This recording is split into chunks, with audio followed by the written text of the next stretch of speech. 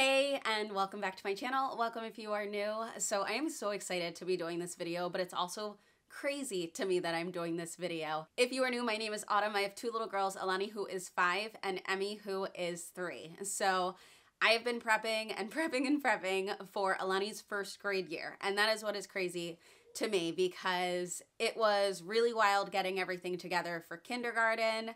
And that seemed like such a big step but first grade, it's the first year that I actually have to do anything with the district that I live in and actually follow the state laws, all of that kind of stuff. So, this is a big deal. This is a big year for us, and I'm so excited, but also I can't believe we're here already. Before I jump into this video, I would love to hear what state you are living in. If you are currently homeschooling, what state you are homeschooling in. I am in Pennsylvania. It's one of the quote unquote stricter states. I haven't actually done anything with the state yet, and I have heard that it can really vary district by district, but I am about to find out this year how my district is. To make things a little bit easier on my brain, since I have a lot of subjects that I do have to follow with the state of Pennsylvania, I made one of these for both Elani and Emmy, but obviously Elani's is more thorough because there's so much that I do have to do, so many requirements but I have front and back all of the subject areas that I have to focus on. So in this video, I'm going to be talking about English or language arts, as I would say, but arithmetic, science, geography, Spanish. Well, Spanish I added in. We don't have to do a language, but I am going to be doing Spanish. Art, music, history of the US, history of Pennsylvania, civics, safety education, health, and PE. So I am going to go through all of the things that we are using to make sure we are hitting everything that we need to hit within the state of Pennsylvania. And I have some things that I still have to print, still have to prep. That is stuff that I am saving for like when Elani is in camp and I have time for those types of things. So I'm gonna let you know what I am using, but I do not have everything fully printed and ready to go for next year. If you do, that is amazing, but that is not where I am. I am a visual person. I need to see something, so this is really helpful for me. I have the curriculum, the program, what subject it aligns with, the days of the actual curriculum or program. So we have only been doing homeschool four days a week. I plan to do that again next year. So even if we do things four days a week, I just put down how many days the actual curriculum is set up for. So some things are set up for five, some things are set up for two, that kind of stuff. And the units or domains or modules or lessons, depending on what it is. And in the last column, I just put in additional resources that I know I'm going to pull from or I think I'm going to be pulling from. If you've been here before, then you know that we were using pinwheels for kindergarten. We didn't start with it, but we ended up picking it up. So we are not done this. We probably would have been done this had we started with it, but we are actually on level two. So year one has a level one and a level two when you purchase it and we are on level two. And when we are done the school year, I'm just referring to my paper. When we're done the school year, there's only going to be six units left in this. So that is, as I get closer to that time, probably even just over the summer, I'm going to have to decide if I want to purchase level three and four in pinwheels or if I want to move on to Logic of English. I'm not sure which one I want to do at this point we really do like pinwheels. And I do have everything set up for level one and level two. That's probably what possibly I'll use with Emmy. I don't even know. But what I have to decide is when we move on from this, am I going to stick with this or am I going to move on to Logic of English? So that is just something I haven't decided yet but I will definitely let you guys know when I do. Though Pinwheels is a language arts curriculum, I am also going to be using Core Knowledge Language Arts. If you're not familiar with Core Knowledge, it is completely free and it is standards aligned if that is something you are interested in. I plan to homeschool for as long as we want to homeschool. But I understand that there might be a point where my girls want to be in a traditional school building, or maybe I need them to. For some reason, things change in our family. Who knows? But I would like to make sure that I am still hitting certain standards so that if we do get to that point, it's not as difficult of a transition. I looked through core knowledge for all of their subjects and they really do look great, but I decided just to do language arts this year see how we feel about it, and we'll move on from there if there's anything else that we decide to pick up over the years.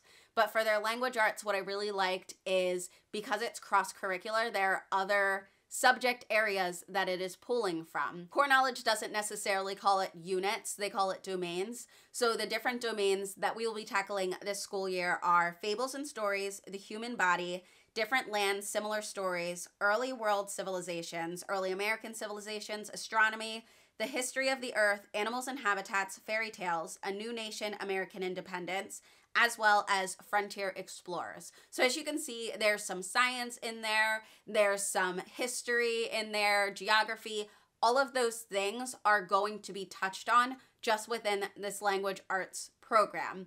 And then on top of that, we are still doing geography, and we are still doing history. This language arts program does have a skills section of it. The skills section actually aligns a lot with what I like about some of the phonics programs that I have used.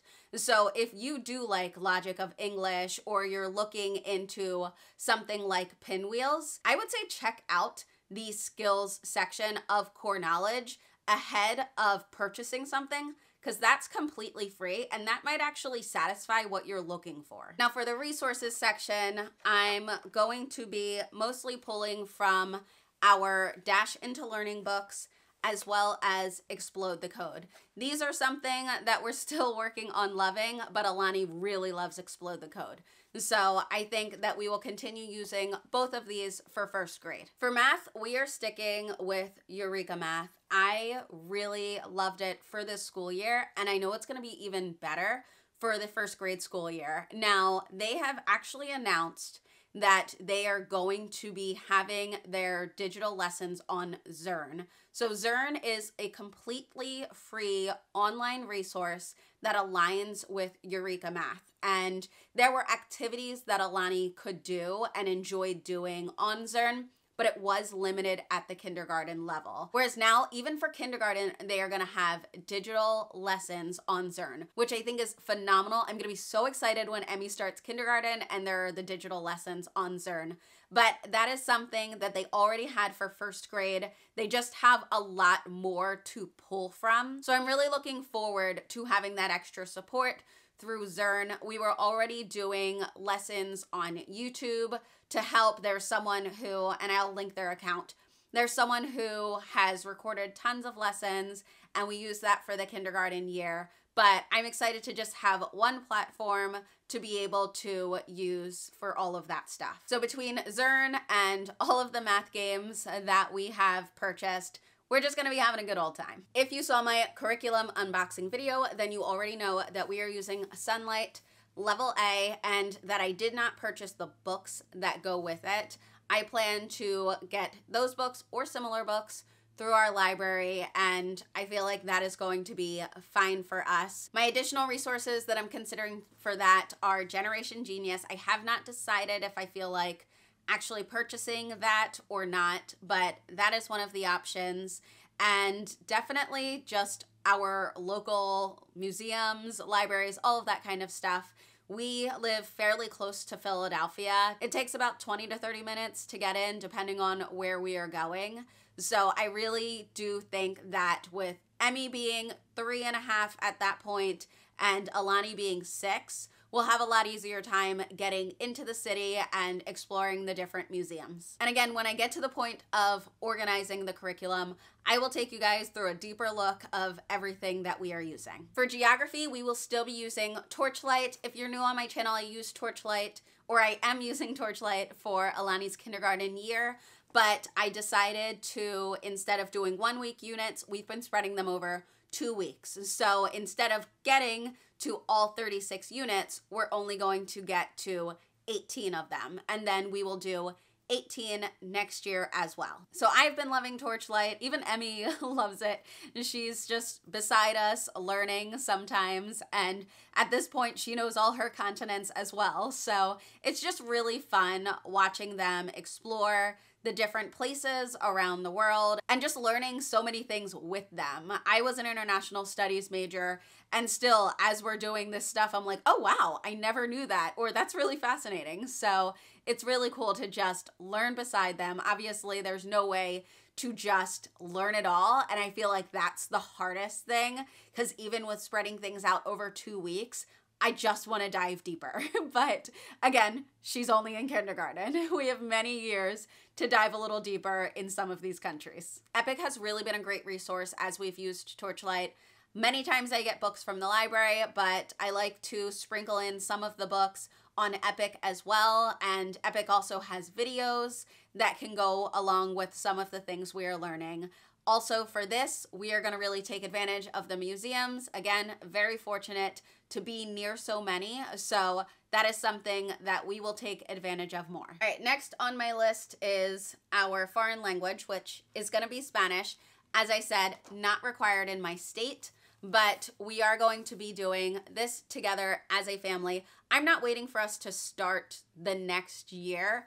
I'm just waiting for things to kind of just calm down a little bit for us before we start doing this as a family. We will be doing this as a family, my husband as well. So I'm really excited for us to all start this together. And I showed everything that was in the box we received for Homeschool Languages Spanish in my curriculum unboxing video. So if you missed that, make sure to check the description. I will have that linked. When it comes to art, I love that my girls are learning about different artists from around the world, and that is really great. But I also want them to understand the elements of art. So I found a really cool curriculum on Teachers Pay Teachers called Science in Art.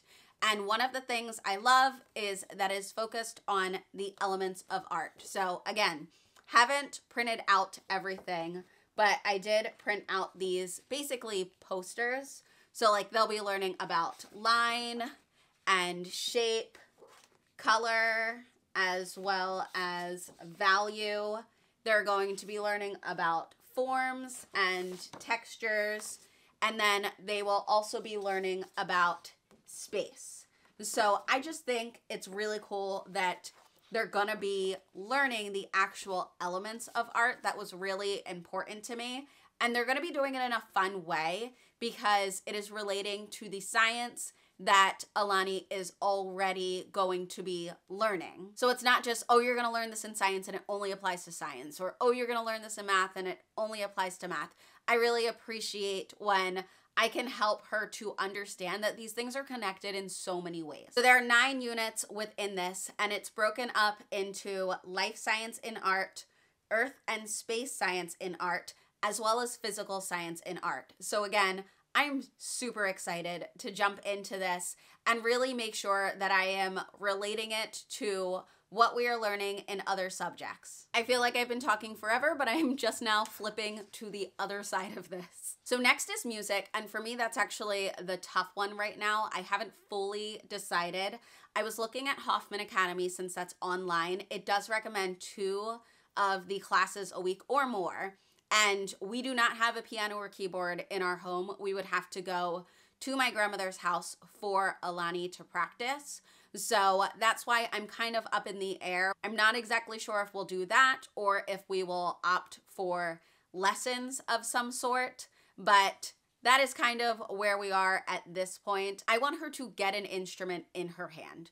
So there's also the possibility of maybe grabbing a recorder and doing something without school. So there are lots of different options there. That's the only one I'm not exactly positive. I've looked at tons of different things. And that's another one where it's great learning about the different composers around the world and we're having fun doing that.